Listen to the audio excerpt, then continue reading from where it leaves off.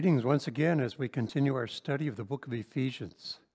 We welcome you and uh, uh, let's open with a word of prayer. Gracious Heavenly Father, you are very, very concerned about your church being a vital force in this world in which we live, to be a positive influence, to reach out to many, many people. Lord, we are people ourselves, and as we gather as the church, we don't find that we are qualified or perfect in ourselves, but we ask you to coordinate us and pull our efforts together that we work in harmony with your will, with your words, and reach out to the world around us to bring your presence to be a source of strength for all of us. We ask your guidance now in this chapter four of our study today. In Jesus' name we pray. Amen. So, as we continue on, uh, we are looking at Paul's letter to the Ephesians, and we are kind of subtitling that God's letter to the church. Let me quickly, briefly summarize. Chapter one was being the church on purpose as God gathered Jews and Gentiles together to be the church. Chapter two, uh, he built, builds his church, and we saw how God is working to do that.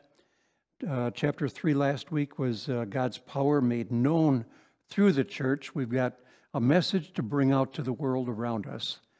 And chapter 4 today is the coordinated, uh, cooperating body of Christ. We together working to uh, use the unity and to gain the unity of faith that God is offering to us. Okay. Chapter 4, verse 1.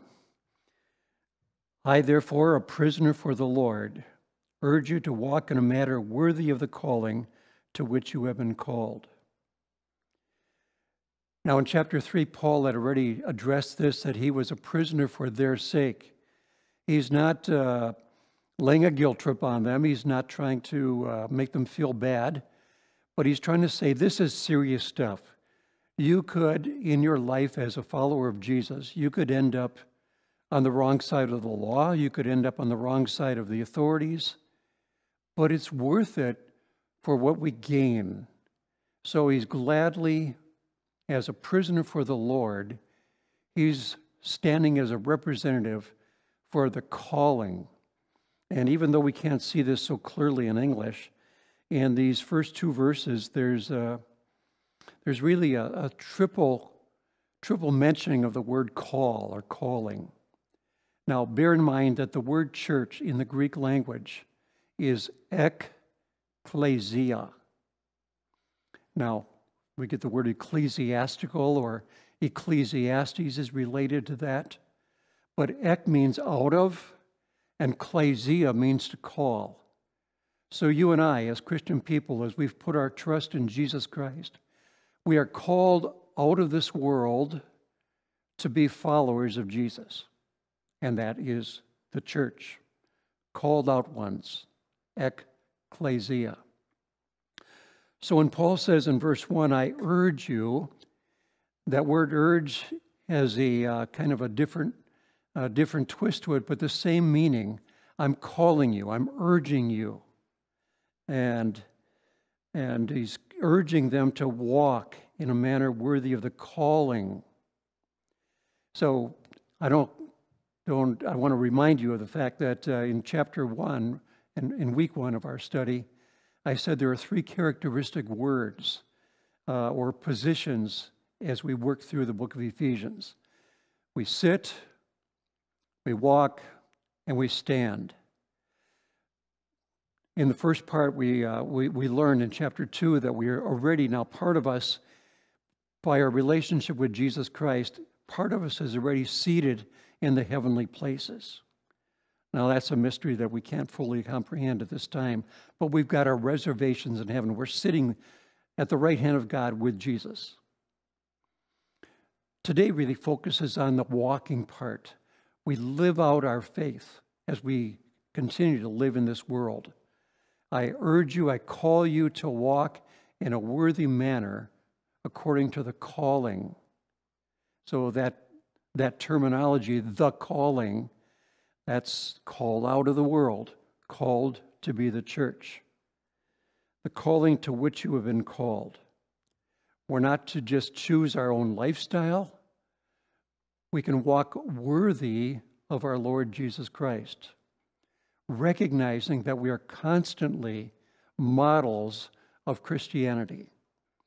We can either cause people to shake their heads and say, if that's what a Christian is, I don't want to be one of them, or they've got something that I don't have and I want to know what it is. We're walking according to a calling to be different for our Lord Jesus Christ. So we are to walk, verse 2 goes on to say, we are to walk with all humility and gentleness, not a little bit of humility, but all humility, all gentleness, with patience, bearing with one another in love. Okay, perhaps you've heard me say this before. If you ever find the perfect church, don't join it because you will wreck that perfect church. We're not perfect people. And so, if we're going to be involved with one another's lives as the gathered ones, the called out ones, we have to uh, we have to relate to one another, and we're not perfect people. And so, listen to these words: humility, gentleness, patience, bearing with one another. Um, let, let, me read you a statement here that uh, kind of capsulizes this. We're not perfect people. We're not easy to get along with. What we need is a thick skin, kid gloves, even tempers, blinders, a strong grip, white knuckles, unending motivation, and it wouldn't hurt to throw in a bottle of extra strength Excedrin so we can get along with one another. It takes effort to be the church, to be united, we won't, don't have a shortage of people that are out there somewhere that used to be part of the church, but they have wandered off. They've been broken off of the fellowship, the unity, the gatherings, because they've been hurt by something or someone. Um, let me just share, share with you a, a, theme or a thought that I, I had years ago. I wrote an article about this. It was uh, five minutes at the mic. And I was just sort of dreaming that if I could have five minutes at a microphone where I could re- reach all the people of the world in their own language at the same time, what would I say in those five minutes? Rather hypothetical, isn't it? What would you say? Well, my determination was I would take three minutes to very carefully, very completely describe who Jesus is, what he did, what it means for us, the value of our salvation for now in time and for all of eternity. But with those last two minutes at the microphone, I would strongly urge people not to let anyone else keep them out of heaven. Let all those hurts of the past, let all those looks, all those glances, all those uh, feelings of betrayal or, or being let down, just let them go. Don't let some other person keep you out of heaven. We need God's Spirit to bring us together in spite of ourselves. We are the church. Humility, gentleness, patience, bearing one another with one another, but always in love. That's the highest form of love in the Greek language agape love, a sacrificial love, where we would be willing to go out of our way to lay our life on the line for those that we are called together with. We go on to verse 3. We've got all these bumps in the roads as we relate to one another. But as we get over our squabbles and differences, the smoke clears, the cloud is gone, and we can see perfectly that we are to be eager to maintain the unity of the Spirit and the bond of peace. Okay. Hold on like a bulldog, eager to hold on, to cling to, to value highly a unity which has already been given to us. And that's the unity of the Spirit of God coming down from above. We don't have to create that, we don't have to make it happen. It exists already. All we have to do is remember that we are united in the Spirit. There's a oneness that is there. It's called the bond of peace. The word bond means that we're locked into it.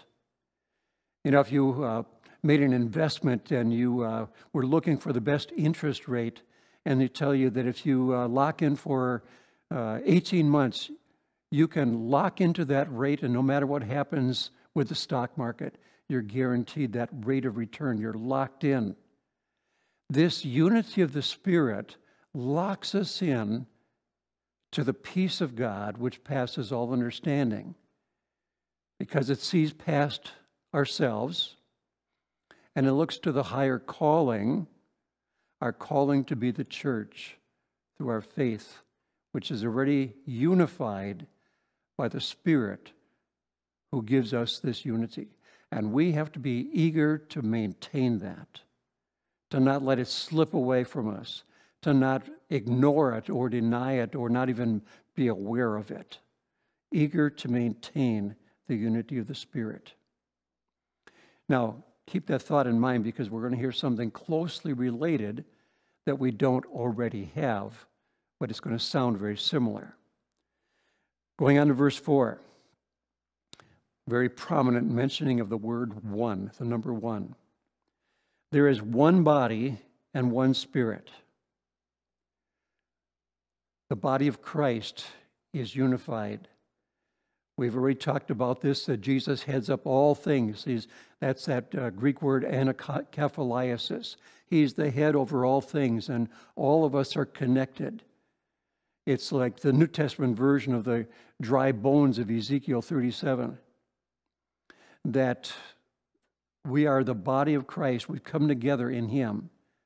And there's one body and there's one Holy Spirit. We don't have many other Holy Spirits that are taking us in different directions. This is that unity that already exists in the bonds of peace.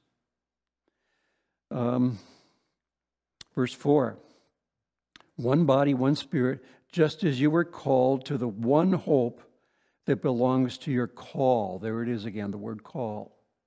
One hope. We are not given Aladdin's lamp.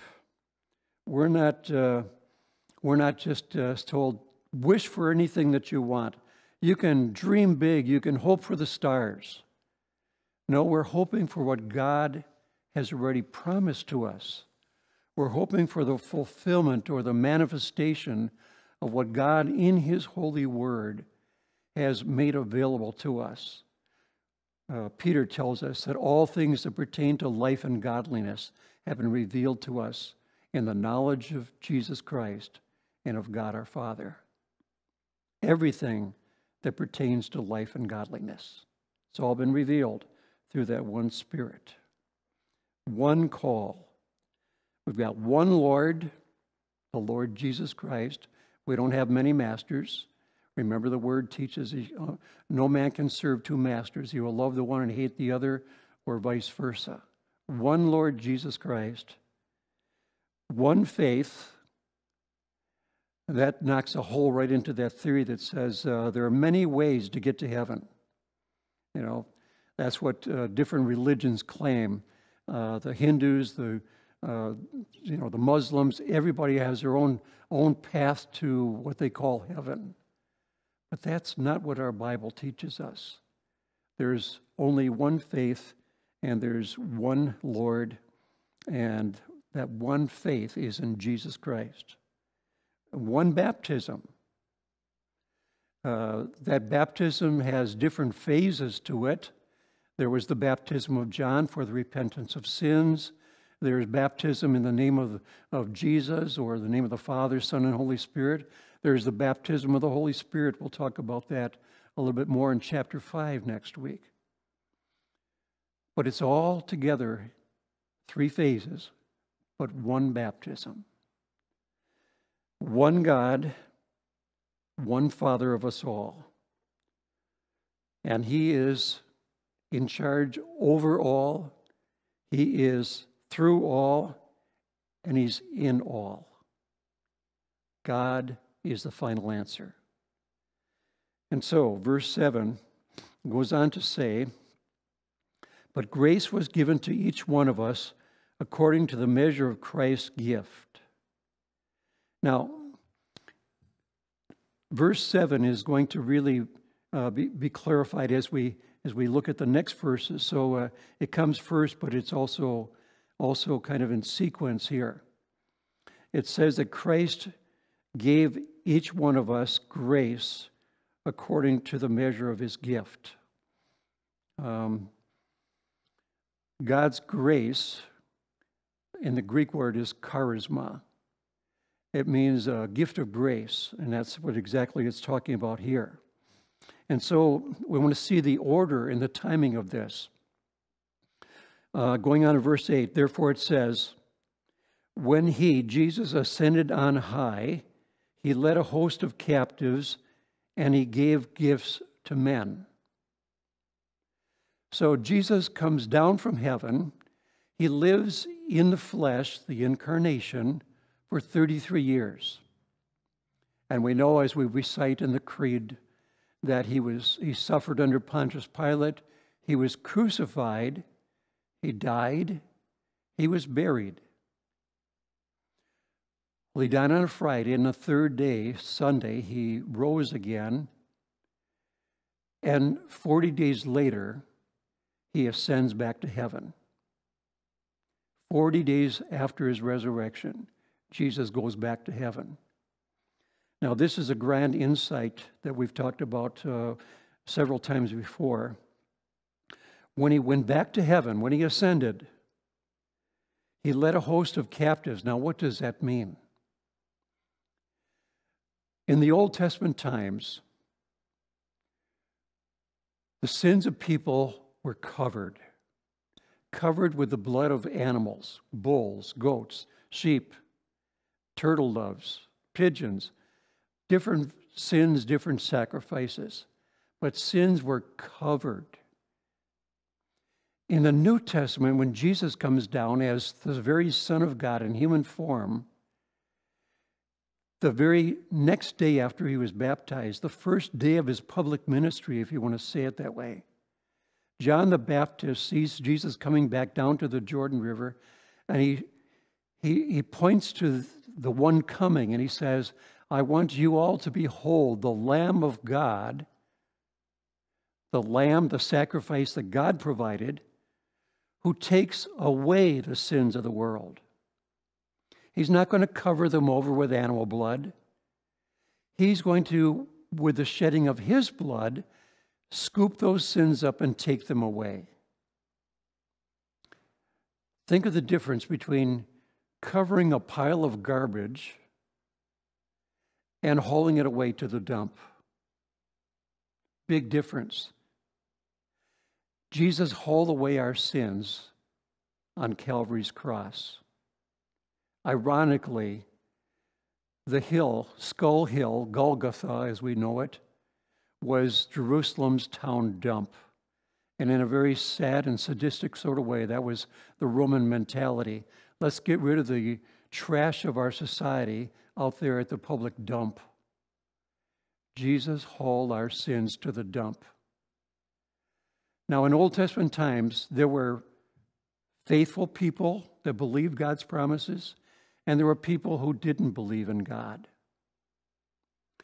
So when they died, what happened to them? Their bodies fell into the ground, but their spirits went to the realm of the dead.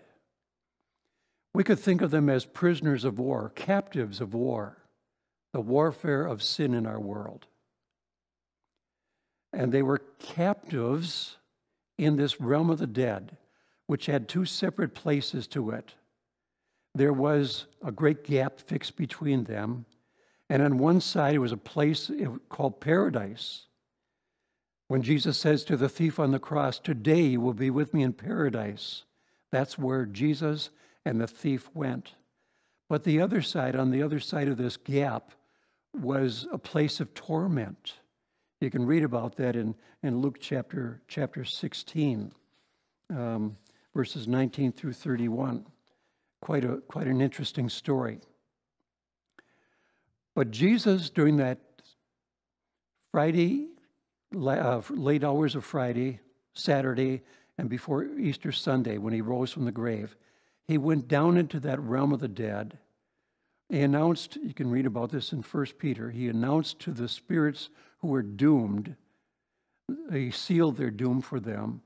But to those who had put their faith in God, the faithful saints of the Old Testament, they were now released from their prison, even though it was a paradise. And that's the reference here in Ephesians chapter 4. He led a host of captives on high.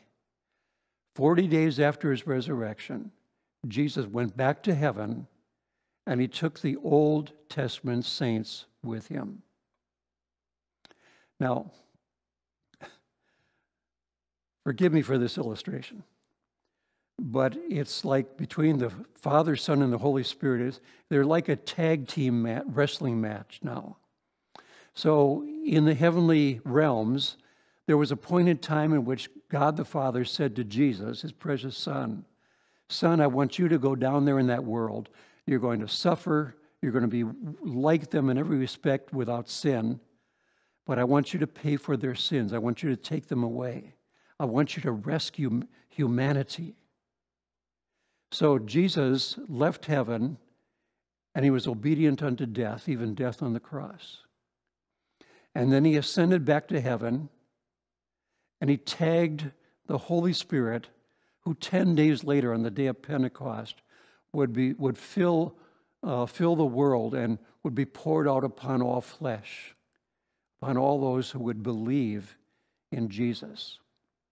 And so, through the Holy Spirit's presence now, Jesus went back to heaven. His presence was gone, but the Holy Spirit, a spirit without a body, who's not limited to being in one place at one time, can be with you and you and you, every one of us, wherever we go to the ends of the earth. That's how Jesus fulfills his promise I'm going to be with you. My spirit will be with you to the ends of the earth, to the close of the age. And so he gave gifts to men. That's what verse 8 is all about. Verse 9, in saying he ascended, what does it mean but that he had also descended into the lower regions of the earth? And that, again, is the two places, paradise and the place of torment. He descended there, announcing the doom to those and uh, setting the captives free to the others. He descended, uh, also ascended far above the heavens that he might fill all things. And that's where Jesus is now, uh, seated at the right hand of God, filling all things. All things are subjected unto him. And as we go on with this, boy, I wish you were present. I could ask if you have any questions. Uh, give me a call or send me an email if you want to want to find out more about that. But we're still looking, he gave gifts to men. And verse 11 describes those gifts. And he gave the apostles, the prophets, the evangelists, the shepherds or pastors, and teachers. I saw an illustration one time uh, years ago using the left hand to get this point across. The apostles are like the thumb we have such great flexibility. The thumb is really the foundation of the hand, isn't it? But the apostles are like the thumb. They go out like the apostle Paul and start creating churches and stirring up people to believe. And they break new ground. Today we don't talk about apostles as much as we talk about missionaries who are sent out. Apostles and then prophets, they are like the pointer finger of God giving specific messages to encourage, to help, to build up other people. The evangelists are like the middle finger that reaches out the farthest out into the world. Uh, just think of the tremendous influence that Billy Graham had during his years of ministry in this world. He reached out into all the world. The pastor is like the ring finger. The pastor is married to the church, to the people that he's serving. And the teacher is like the little finger because it goes farthest into the ear. Well, I hope that illustration helps you to visualize this a little bit. These ministry gifts were given to the church. They are the spiritual leaders. And now, why were, why were they given? What was their purpose? Verse 12 to equip the saints for the work of ministry for building up the body of Christ. First of all, the word to equip. If you look at the Greek word to do a study of that word, it really means to set a bone. Okay? So these spiritual leaders are, are sent as a gift from God, from Jesus, to the church to set things straight that are broken, that are out of order, different teachings that have infiltrated uh, our, our ways of thinking, natural thoughts that kind of make more sense to us sometimes than God's spiritual thoughts. And the leaders in the church are to set things in order, set things straight again, setting a bone.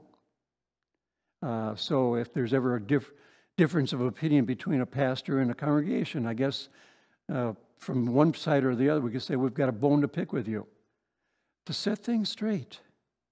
So, to equip or to prepare the saints for the work of ministry. I want to use a little illustration here. Depending on what Bible you're using, some of the older translations, the uh, King James, for example, uh, I personally prefer to use my Revised Standard Version. Uh, and those older translations carry with them a comma, which makes such a big, big difference. And I want to make a big deal about this big difference. So look at that, look at verse 12. So apostles, prophets, evangelists, pastors, teachers are to equip the saints. And then those older translations, after the word saints, put a comma there. So it looks like the ministers, the leaders, the spiritual leaders, it looks like, if you put the comma in there, they've got three jobs to equip the saints for the work of ministry and to build up the body of Christ. Just before we started recording this message today, I went back and double checked and I looked in the Greek. There is no comma there, it's misplaced.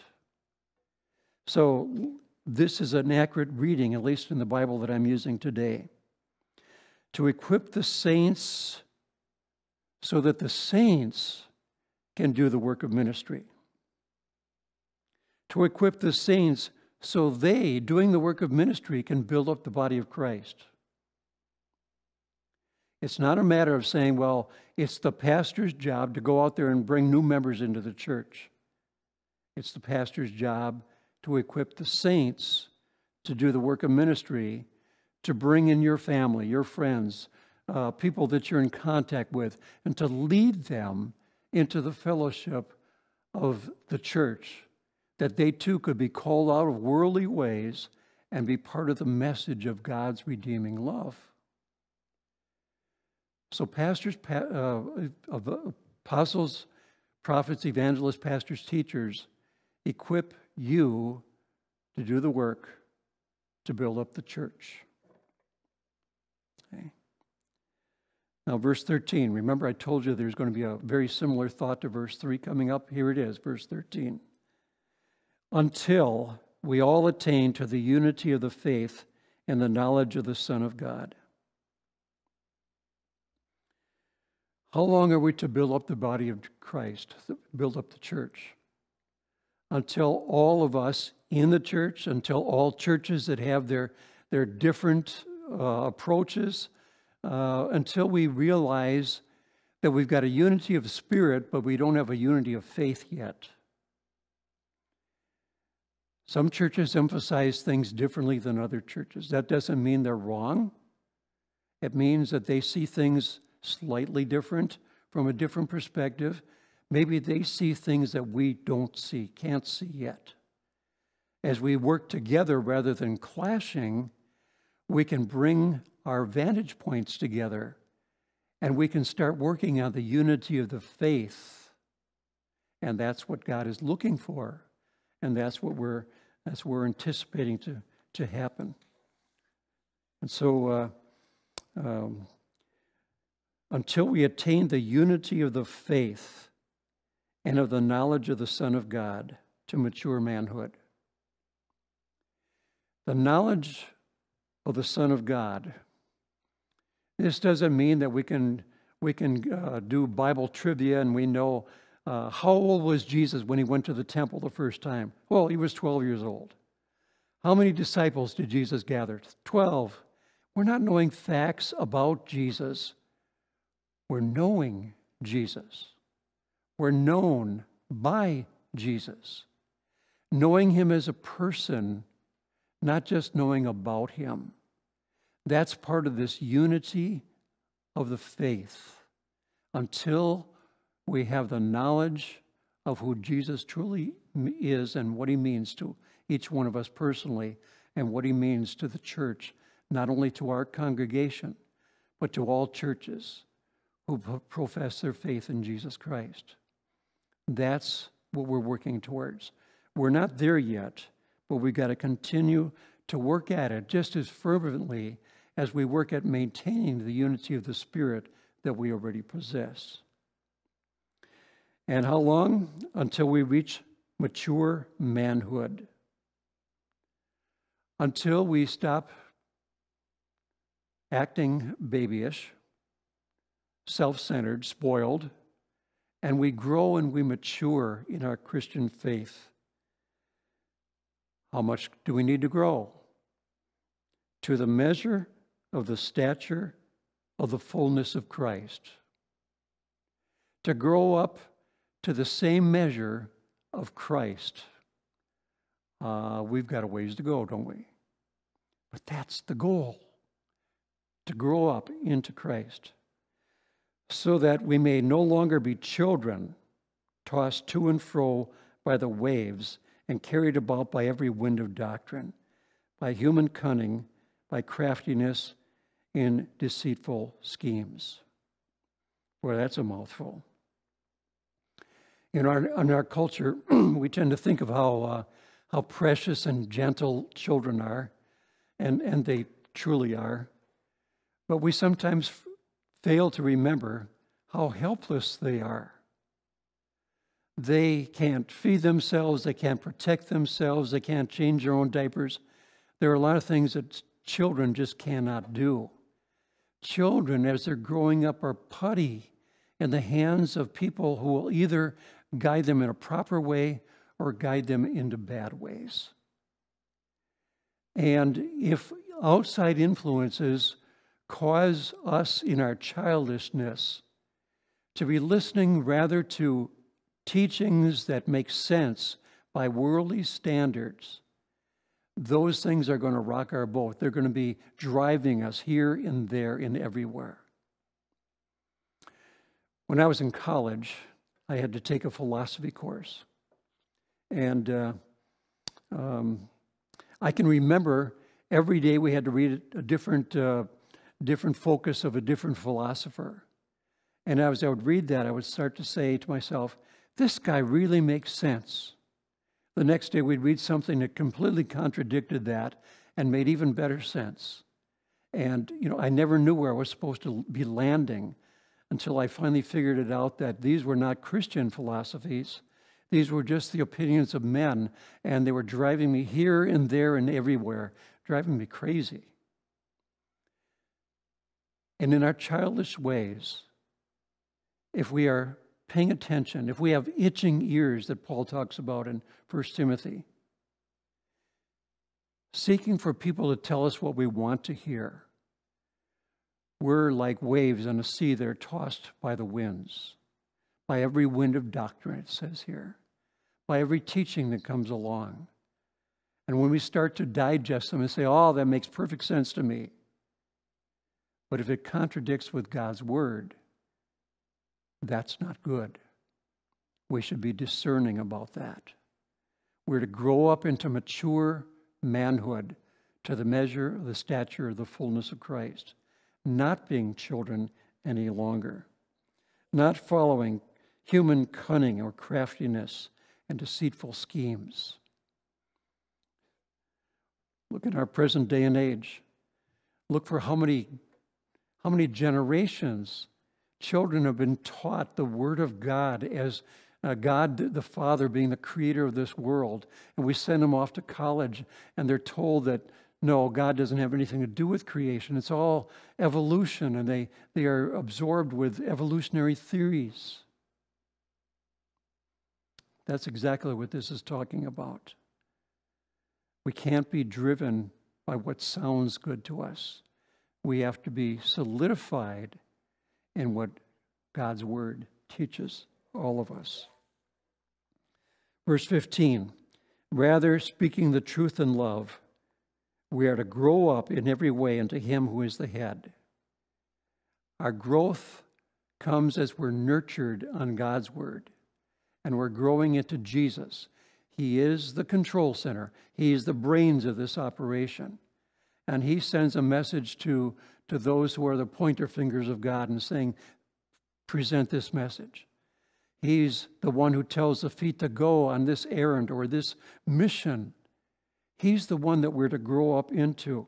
He's the head, and we're to grow up into Him. Uh, from Him, whom the whole body, joined and held together by every joint with which it is equipped, when each part is working properly, makes the body grow so that it builds itself up in love. Paul, in his writings, I can, I can almost imagine he was amused when he was writing these words, but he was trying to describe well, what, what if the whole body were an eye? Can you imagine that? If you were one great big eyeball, you didn't have any feet, and you had to get from point A to point B, do you realize how much dust you get in your eye getting from point A to point B? Boy, it's a good thing we're not one great big eyeball. So our eyes can't say to our feet, I don't need you. And so every part of the body's got its different function. And we, as the body of Christ, have different gifts and talents and abilities but all of it connected to Jesus, the head. And when it's all working properly, we're all going in the same direction. We can't have one leg going this way and one leg going that way. You won't get very far, will you? When it's working properly, it builds itself in love. Okay. So we go on to uh, verse 17 kind of almost a new subject here. Got a lot of pages of notes here. Paul says to the people now, Now this I say and testify in the Lord. That's like, uh, listen up, pay attention now. I'm trying to get your point, this point across. I want your attention, undivided attention that you must no longer walk as the Gentiles do in the futility of their minds. There's that word walk again. Do you see it? Don't go, don't go out there and live like Gentiles do. Now, again, in chapter 2, he's bringing the Gentiles and the Jews together into the church. But he's saying, don't be like Gentiles before they came to faith in Jesus. Gentiles who didn't know the ways of God's love and covenant of the Old Testament. We are to walk in a new way. We are to not be our old self any longer. So, Gentiles, by nature, they think through things by natural means, and it's always futility, futility of their minds. Um, we can see this, I hope you can see this clearly. If you could take a person and say they grew up not knowing anything about Jesus, But somewhere along the line, they came to know Jesus and they put their trust in Jesus.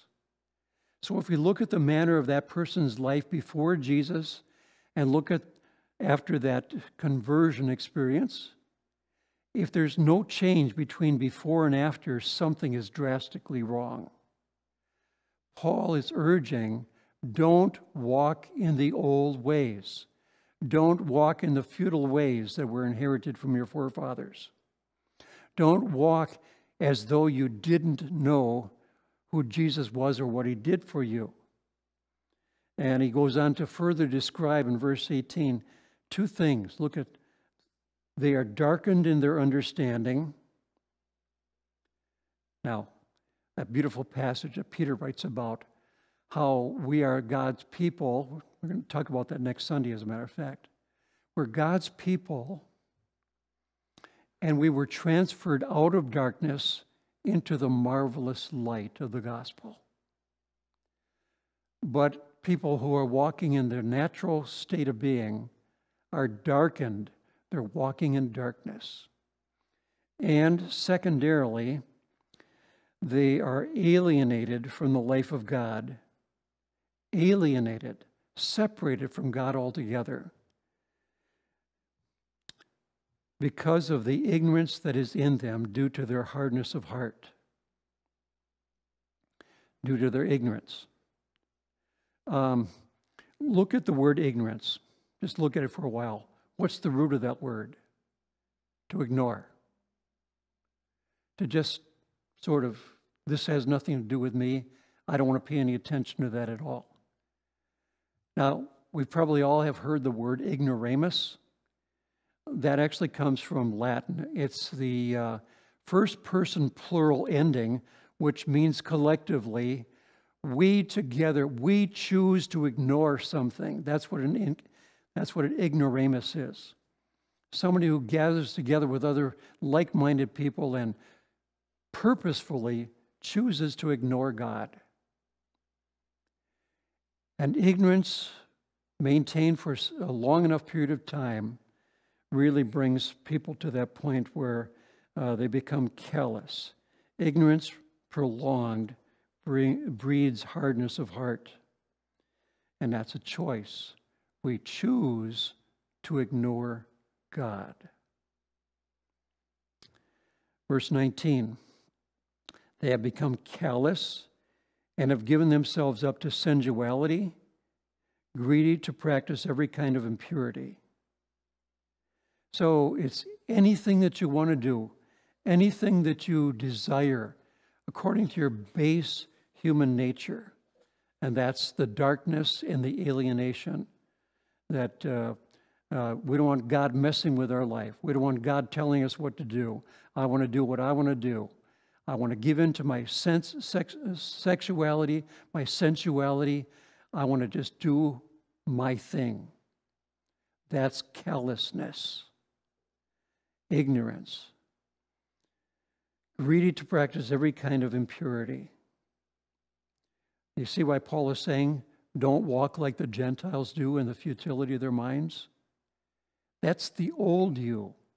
You've got to put on a new you if we keep on reverting back to the old self, I mean, uh, the, the imagery of put off and put on is like, like the clothing that we wear. Can you imagine if you were a farmer and your daughter was getting married that day and you went out and milked the cows in the, in the barn and, and uh, you know, you, you just say, well, good enough for who it's for. Would you really go to your daughter's wedding wearing your barn chore clothes? It's unthinkable. Don't come before God with the old, dark, alienated self. Walk in newness of life. That's what he's looking for from us. They have become callous, greedy. Okay, verse 20. But that is not the way you learn Christ, assuming that you have heard about, uh, heard about him and were taught in him, as the truth is in Jesus. To put off the old self, which belongs to your former li- manner of life and is corrupt through deceitful desires. So, We didn't learn, when we learned of Jesus, how to do things exactly the way we've always done them. We learned a new lifestyle, a new way of thinking and acting and treating one another. A new person emerges. That's what happens in our baptism, that we might walk in newness of life. And so, uh, verse 23 says, To be renewed in the spirit of your minds, not the old mindset, futility of your mind, but to renewed, be renewed and to put on the new self, created after the likeness of God in true righteousness and holiness.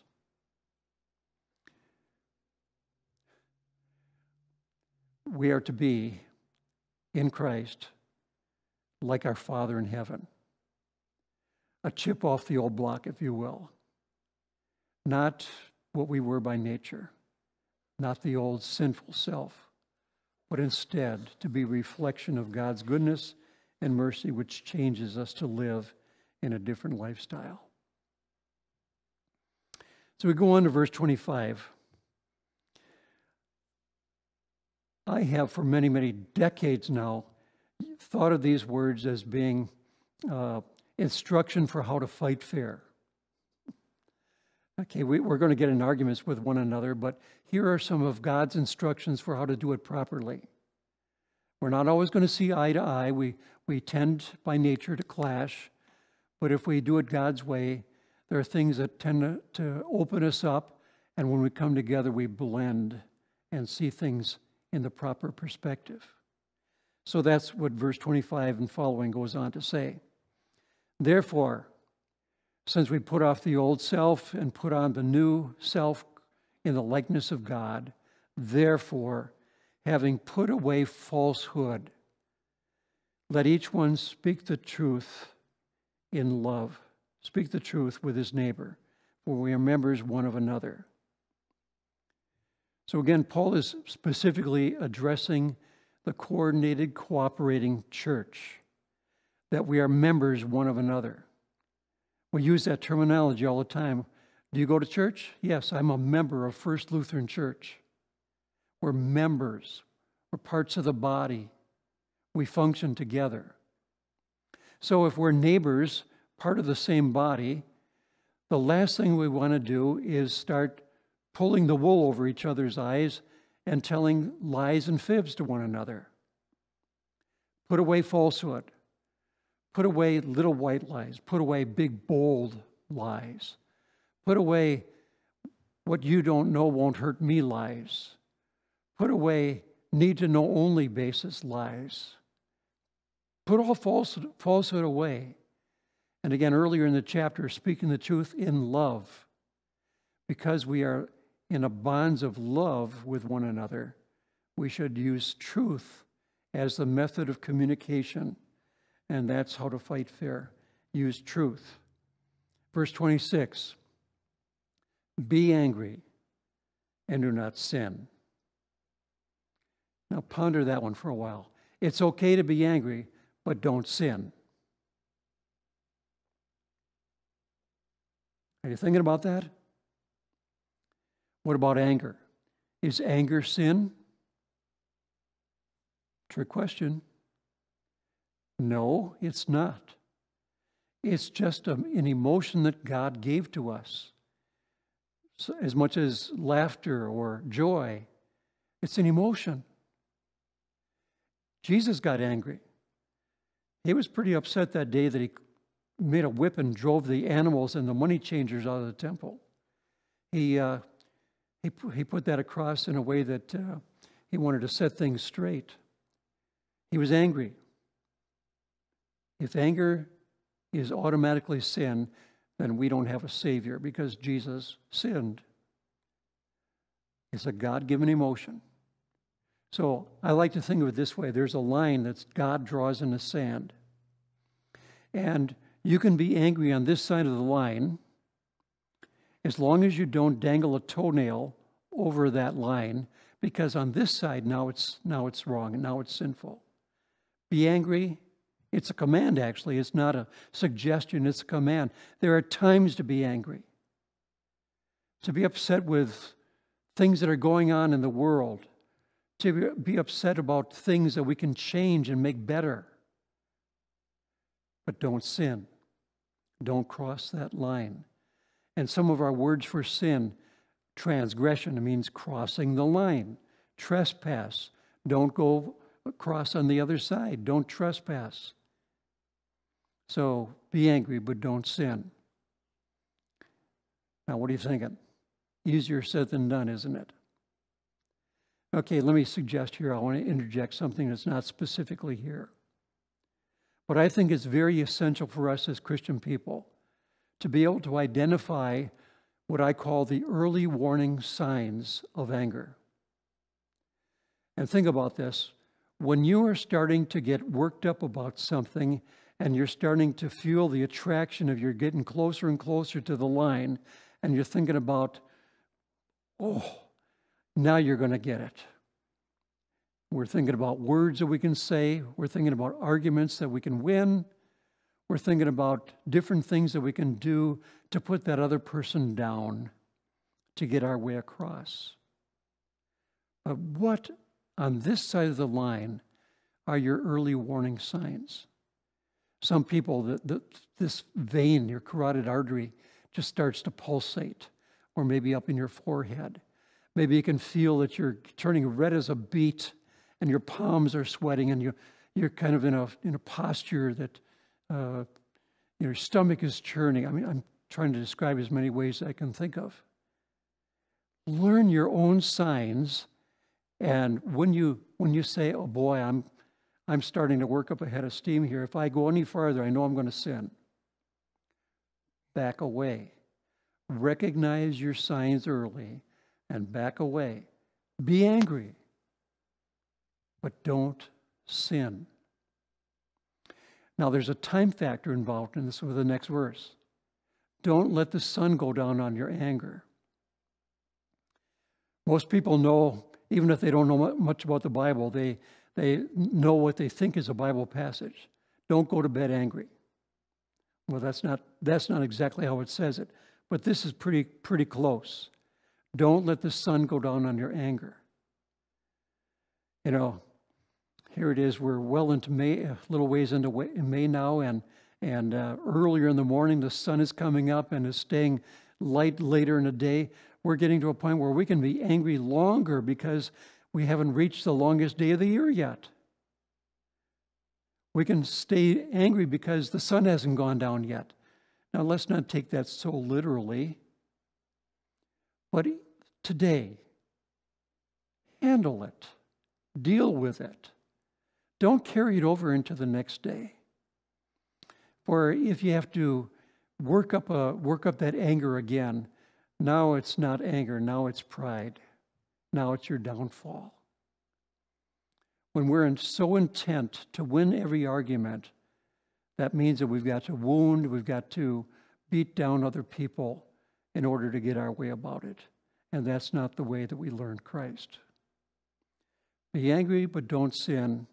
And don't let the sun go down on your anger. Handle it properly today. I met a couple years ago, and they told me the secret of their, of their happy marriage. And they said that every night before they go to bed, they would both sit on the edge of the bed and they would say, Now, did I do anything or say anything today that I'm not aware of that hurt you or, or uh, got you angry? And they would talk about it. And uh, a lot of times they would say, No, you didn't, no, nothing wrong. But when there were times that were something wrong, they talked about it and they prayed about it and it was gone. And they didn't have to wake up in the morning and say, Here we go again. That's a good rule of thumb, isn't it? So we, uh, we really need to not let the sun go down on our anger because when you do, verse 27 says, you give an opportunity to the devil. Don't do that. Let's clarify something here. The devil is not one big, bad, ugly dude who's all by himself trying to create havoc in this world. When Lucifer got it in his heart to try to overthrow God in his rebellion. He wasn't he was stupid to do it, but he wasn't stupid enough to do it alone. And he went out lobbying among all the other angels, and he managed to wrangle one third of the angels in heaven away from God to follow him. One third of the angels. Now, that wouldn't sound so bad if, if God only made three angels. But in the book of Revelation, in chapter 5, there's a viewing of God sitting on his throne and surrounding the throne of God. It says his angels number myriads of myriads and thousands of thousands. A myriad is 10,000. So if you only take one myriad times one myriad, that minimally is 100 million angels. And this says myriads of myriads. And the remainder, remember that term from arithmetic back in the day? The remainder was thousands of times thousands. So if that's what was remaining faithful to God among the angels, Lucifer took with him one third of the angels. That means at the smallest number of evil spirits is 50 million. Now, that tells us something about Satan's ways of working. You don't want to give him an opportunity to chip away at you. Relationships that are unified are strong. But if there are little gaps in that relationship, and if, if we can drive wedges between one another, if Satan can drive wedges or his evil spirits, they can crack us apart and cause divisions among us. And we are to be eager to maintain the unity of the Spirit. So don't give an opportunity to the devil. Don't hold on to that anger and let it carry over into the next day. Do you know how to make a mountain out of a molehill? You add more dirt. Don't keep on heaping more dirt on a bad situation. Don't make a mountain out of a molehill. Get rid of it in a timely fashion. Now, verse 28 almost doesn't seem to fit in here, but let's, let's fit it in anyway. Let the thief no longer steal, but rather let him labor, doing honest work with his own hands, so that he may have something to share with anyone in need. So, people who in their former life, in the futility of their minds, when they used to think nothing of stealing from people, their hands got gifted at pilfering, of shoplifting. Now, God's word says, use those hands instead to do honest work so that you can create a good living for yourself. And maybe you're working so well, so hard with your honest labor that you've got enough to, to give to the food shelf, to share with others who have needs. So don't go about stealing any longer, but do honest work that brings the, the best out and helps other people in their, in their needs. Verse 29 Let no corrupting talk come out of your mouths, but only such as is good for building up as fits the occasion, that it may give grace to those who hear.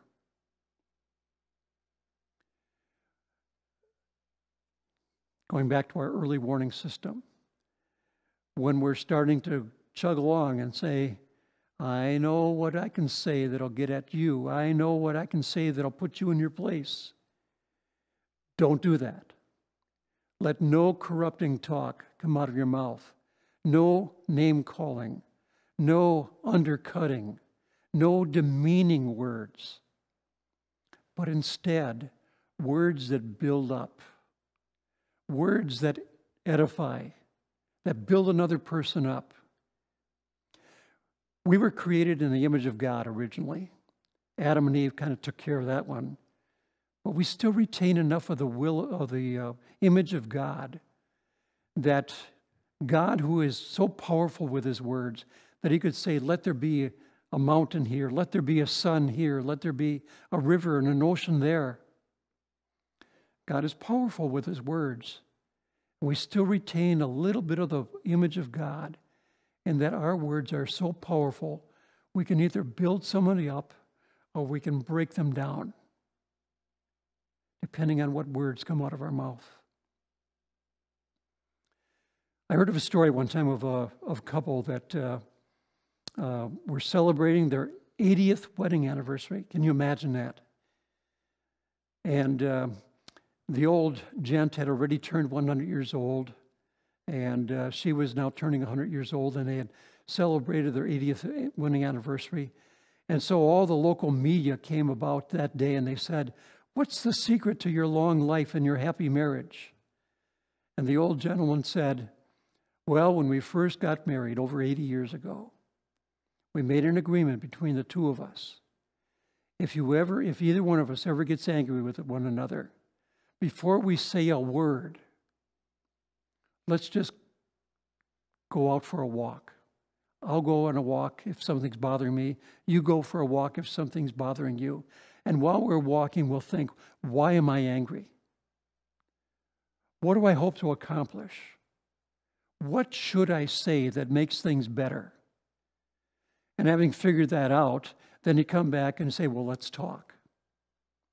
So after we describe this covenant that they had with each other for over 80 years, he said, so I guess in summary, the secret to our long life and happy marriage is all the fresh air that we got.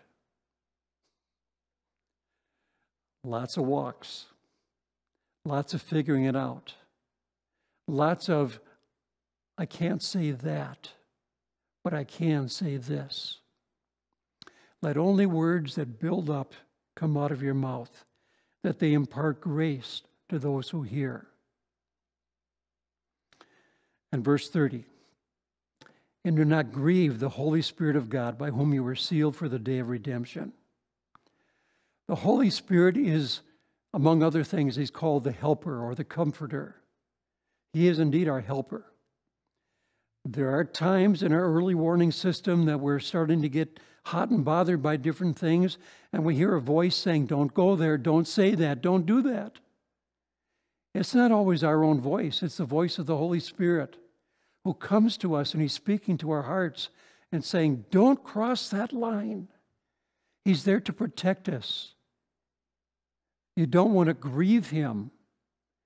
You don't want to chain him to the fence and say, You stay here, I got to do what I got to do. Follow the leading. Don't grieve the Holy Spirit who's there to help you. Verse 31. Okay. Here's house cleaning. Let all bitterness and wrath and anger, crossing over the line anger, and clamor, that's that yippy yippy stuff that just keeps on nipping at people, and slander, let it all be put away from you with all malice. Now, we, those are the natural thoughts. But the Holy Spirit is saying, don't do that, don't go there, put it all away. But we don't live in a vacuum. If, you're gonna, if we're going to clean house and there's an empty spot where those things used to thrive, we've got to fill them with something positive. And Paul concludes this grand chapter four of the book of Ephesians with three things that can fill our lives that make things go better. First of all, be kind. Be kind. Instead of winning the argument, try to think of something that's going to impart grace, something that's going to build up, something that's going to help the other person feel your kindness. Another way of saying your mercy. You could have annihilated them, but instead you lifted them. Kindness is a very great commodity, and we are to exercise it freely and lovingly. Random acts of kindness. Have you been noticing in the local paper that uh, uh, people around the community are trying to make Itasca strong and in the education system to do acts of kindness. That's a good thing. But again, the real motivation comes from a Christian heart, not just from a human spirit. Be kind. Tender touch, tender words. Be tender hearted is the second one. Now, you don't hear that word very often anymore, do you? Tender hearted. A synonym would be compassionate. Anytime that we have a difference of opinion with somebody, we don't have any trouble whatsoever seeing our point of view. We don't, however, always look at the other person's vantage point. But compassion means that we suffer with them. We try to see uh, more clearly, more in depth. What makes you tick? Why do you seem angry to me? What is bothering you? And if we could understand, get an insight, be compassionate, be tenderhearted toward that person, and realize they've got some tremendous things going on in their life that are causing them to act as they're acting. And instead of judging them, we feel for them. Tenderheartedness is very, very great. And the third thing that we can fill our lives with is forgiveness. Forgiving one another as God in Christ forgave you. And I think this is the granddaddy of them all. When we forgive one another, we can put it away. We can put it aside. We're not supposed to bury the hatchet and leave the handle sticking out for ready reference. We are to be like God. When God established a new covenant or promised in the book of, of uh, Jeremiah, I'm going to bring a new covenant. We talked about this last week. The last of the four points of that new covenant well, I will forgive your sins and remember them no more. That's hard to do. Somebody wrongs you, you don't have any trouble recalling that. You can remember that. But you can also choose not to bring it up, not to draw it out again and again and again and use it as a whip against another person. We had a dear friend years ago, and one of her favorite expressions I will never forget. Boy, in the hands of the wrong person, that could be dangerous, couldn't it? I'll never forget what you did wrong. I'll never forget how you hurt me. If we instead try not to hold that against people, but instead use the, the measure that God uses for us, that we forgive them as God in Christ forgave us. Do you know that there's no limitation for how many times God will forgive you? Now, that doesn't mean we should do it carelessly or thoughtlessly. But whenever there is a genuine attitude about us that says, God, I am so truly, truly repentant of what I did wrong, and we're seeking forgiveness from God, God never says, Well, you, you, you, you hit your limit. I can't give you any more grace. I can't forgive you your sins. when we instead come before God with an honest heart, there's always forgiveness. And that's how we're to forgive one another. Not just saying, I'm sorry, but truly giving forgiveness. You know, the word sorry is not really in the Bible. I think there's one reference in the book of Genesis where God, depending on the translation, God was sorry that he made mankind. That was before he sent the flood. But it's never a reference in the Bible that says this is how you get rid of conflict. You tell somebody that you're sorry. That's our weak, worldly, watered down version of what God wants us to do. You know, our, our first parents, Adam and Eve, they both fell into sin. They both did wrong. And when God called them to account, Adam never said that he was repentant of his sins, not, at least not recorded in history. All he did was create what we know as the blame game. And Adam pointed his finger at God and says, Well, God, I, yeah, you know why I sinned? It's because the woman made me sin, the woman that you gave me. So he played the blame game. God was wrong and Eve was wrong and he was okay, that's not acceptable. Well, Eve, what have you done? Well, it wasn't me, it was that snake. We need to accept responsibility. If somebody is hurt over something that we did or said, we can't minimize our involvement in that and say, well, it wasn't that bad. I didn't really mean it. We should acknowledge that. What I did hurt you, that was not my intention. And here's what God is asking us to say Would you forgive me? It's not just, here I am, I'm sorry.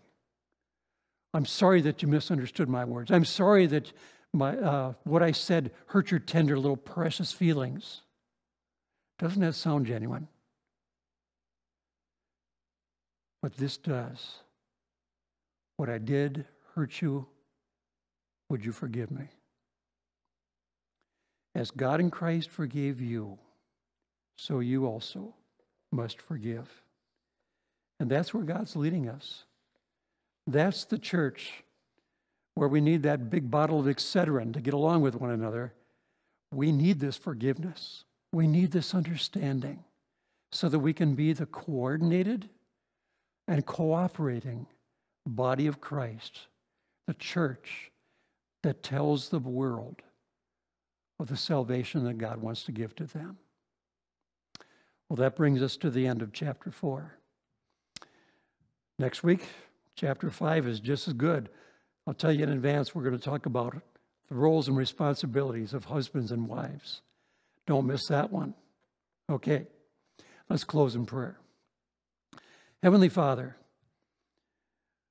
we all need so much change and rearranging in our lives. For all of us, it is far easier to cross the line than it is to remain at peace. For all of us, we have vivid imaginations and we know how to win wars and arguments and, and uh, how to settle things our, by our way of reckoning. But Lord God, show us a higher and better way. Show us that when we get even for somebody that's undercut us, we have to get down to that level. and if they pay us back, they have to get even lower. And if we get back, we get even lower. Teach us instead to take the higher ground. Show us your will and your ways. Help us to be eager to maintain the unity of the Spirit. For Lord God, lead us onward for the unity of our faith. Lead us through your teachings, through your Holy Spirit, to be more and more and more every day that we live like our Lord and our Savior Jesus. Lord, we ask these things in his most holy and precious name. Amen. Thank you for joining us. Chapter 5 next week. Goodbye.